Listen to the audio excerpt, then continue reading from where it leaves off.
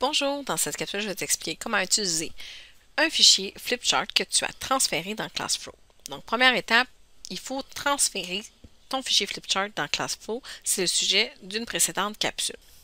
Une fois que ton fichier Flipchart est maintenant dans tes ressources, tu peux maintenant soit le copier, le partager, voir l'aperçu, modifier ses propriétés, le publier dans le ClassFlow Marketplace pour le partager avec tous les enseignants de la planète.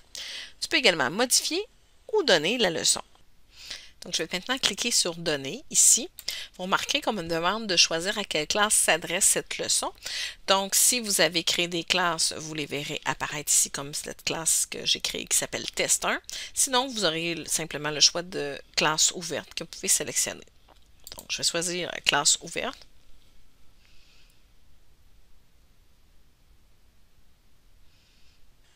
Donc voilà, je suis en mode présentation. Vous pouvez déplacer la fenêtre qui se trouve ici, qui permet aux élèves de se connecter à la classe. Vous pouvez la déplacer, cette fenêtre volante, ou la rapetisser, tout simplement ici. Donc je vais maintenant, à l'aide du tableau blanc, pouvoir manipuler mon fichier. Vous avez accès à plusieurs outils ici dans le bas. Entre autres, vous avez accès à un outil de navigation entre les pages, en cliquant ici, qui me permet de changer rapidement de page. Je peux également utiliser les flèches pour me promener d'une page à l'autre. Je vais cliquer ici pour diminuer l'aperçu des pages.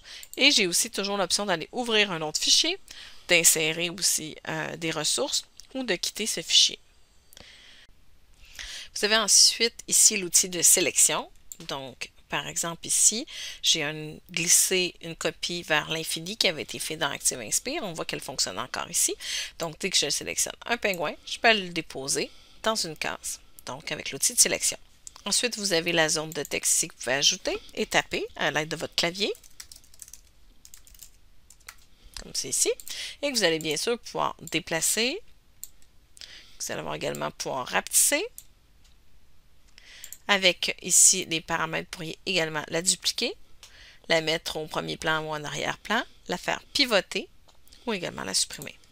Si je désire modifier la police, vous allez voir que je n'ai pas cette option en mode d'utilisation, mais bien seulement en mode modification de mon flipchart.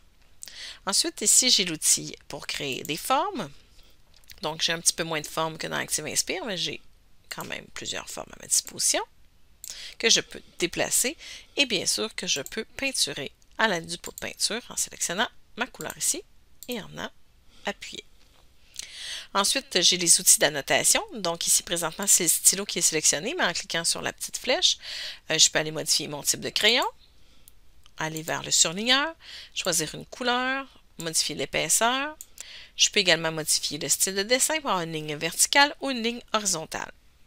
Donc, voilà, je peux utiliser mon surligneur. Ensuite, j'ai la gomme effacée ici qui me permet d'effacer les annotations, mais pas euh, les formes ou les boîtes de texte.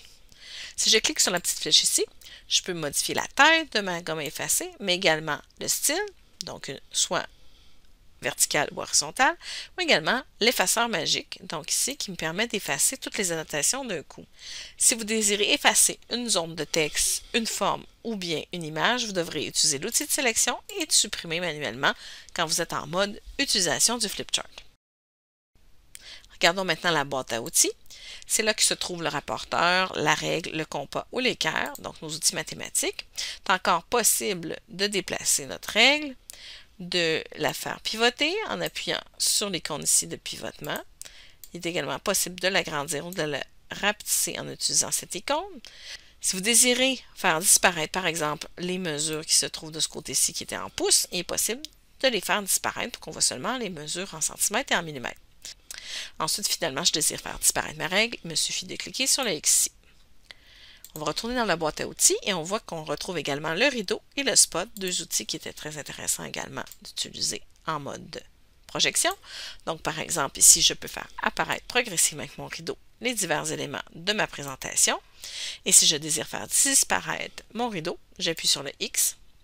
Il est possible aussi d'utiliser le spot et de le faire se promener pour faire deviner quelque chose aux élèves.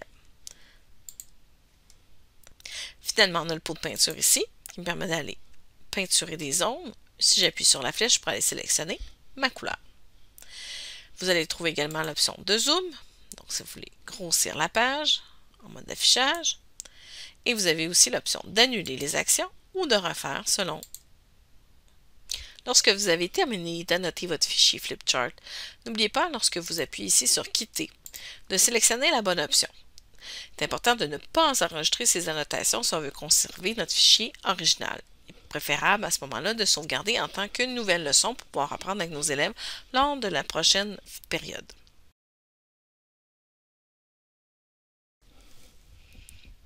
Donc voilà, c'était comment utiliser le fichier Flipchart une fois qu'il a été transféré dans ClassFlow.